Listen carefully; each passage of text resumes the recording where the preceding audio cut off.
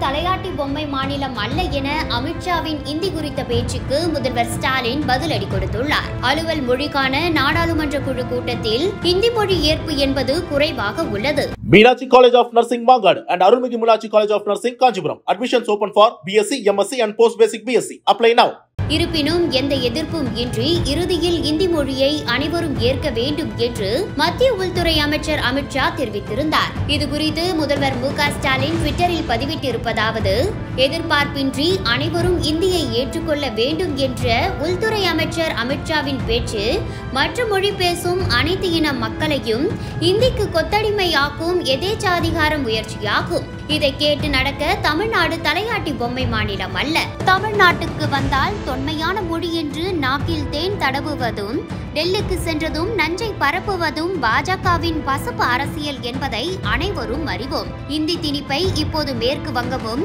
கர்நாடகமும் என பல மாநிலங்களும் கடுமையாக எதிர்க்க தொடங்கி இருப்பதை மாண்புமிகு அமித்ஷா அவர்கள் உணர வேண்டும். ஆயிரத்து தொள்ளாயிரத்து அறுபத்தைந்து புரட்சி காலத்தை மீண்டும் உருவாக்கி விடாதீர்கள் என எச்சரிக்கிறேன் என்று முதலமைச்சர் மு ஸ்டாலின் ட்விட்டரில் பதிவிட்டுள்ளார். Meenakshi college of nursing Mangadu and அருள்மிகு Meenakshi college of nursing Kanchipuram admissions open for BSc MSc and post basic BSc apply now